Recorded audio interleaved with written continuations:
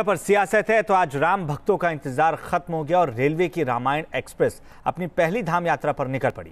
पंद्रह हज़ार एक सौ तीस रुपए के पैकेज में ये ट्रेन 16 दिनों में रामायण सर्किट के सफ़र को तय करेगी, जिसमें अयोध्या, चित्रकूट, प्रयाग, काशी, नंदीग्राम, सीतामढ़ी, जनकपुर, श्रृंगेरपुर, नासिक, हम्पी और रामेश्वरम शामिल हैं।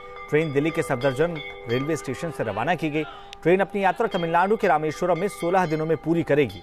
दिल्ली से निकलने के बाद ट्रेन का अयोध्या में पहला पड़ाव होगा और इसके बाद यह हनुमानगढ़ी, रामकोट और कनक भवन मंदिर जाने वाली है।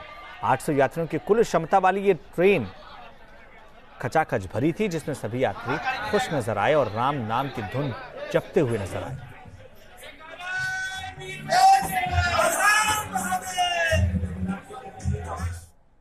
जहाँ जहाँ चरण पड़े रघुवर के, यानी भगवान श्री राम जिन जिन जगहों पर गए थे, उन तमाम जगहों पर अब ये यात्री जो है वो श्री रामायण एक्सप्रेस के ज़रिए जाएँगे। खासे उत्साहित हैं प्रभु श्री राम में, सबकी श्रद्धा है, आस्था है, और ये चाहते भी थे कि प्रभु श्री राम की सर्किट से जुड़ी हुई ऐसी यात्रा शुरू हो, जहाँ पर ये जा सके आसानी से, क्योंकि काफ़ी मुश्किल होती है इस उम्र में अकेले सफ़र करना। भाई अकेलों का जाना तो बहुत मुश्किल हो जाता है। इतनी कंपनी में जगह जगह के लोग मिलेंगे तो नया एक्सपीरियंस देखने को मिलेगा।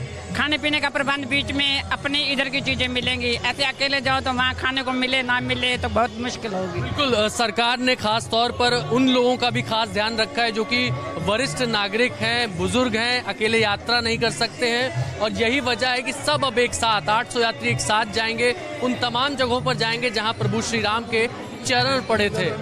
वीडियो जर्नलिस्ट चेतन शर्मा के साथ अभिषेक पांडे, न्यूज़ नेशन, दिल्ली।